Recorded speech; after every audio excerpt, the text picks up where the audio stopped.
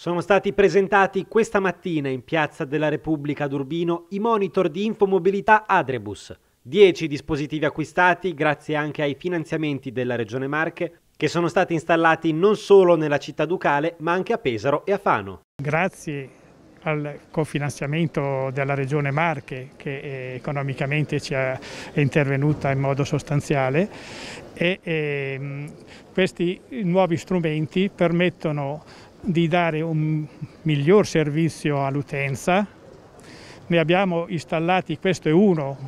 ne abbiamo già installati 10 nella nostra provincia, tra cui oltre questo altri al Parco Santa Lucia qui Urbino, altri a Pesaro e altri a Fano. E a differenza di prima che dovevamo prendere delle locandine di comunicazione, oggi dai nostri uffici riusciamo a eh, inviare eh, telematicamente tutto ciò che accade alla, nel nostro territorio, quindi anche l'ambiente ne trae beneficio perché meno movimento di mezzi e, e meno inquinamento, in più molto utile anche a livello turistico perché il turista che arriva, che ha bisogno di muoversi,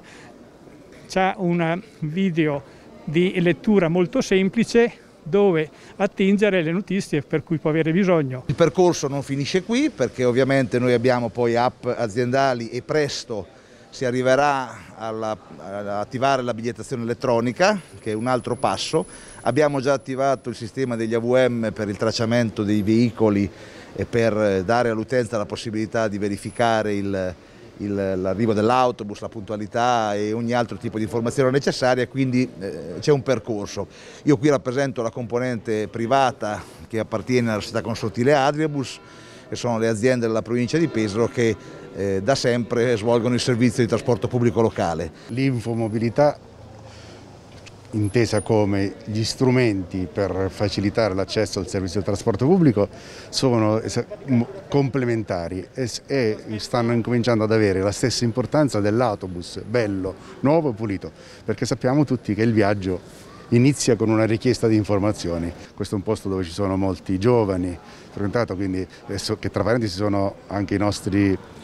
eh, eh, maggiori clienti che sono studenti universitari che raggiungono Rubino con eh, il treno e poi magari l'autobus, eh, pendolari del, diciamo, studenti che si spostano all'interno della provincia. Ecco, questo è uno strumento che noi riteniamo moderno.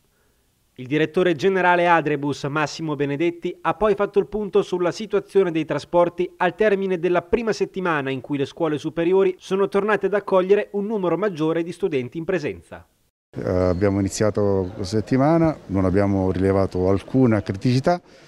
eh, naturalmente il primo giorno è servito solo per limare alcune piccole particolari, ma oggi siamo abbastanza tranquilli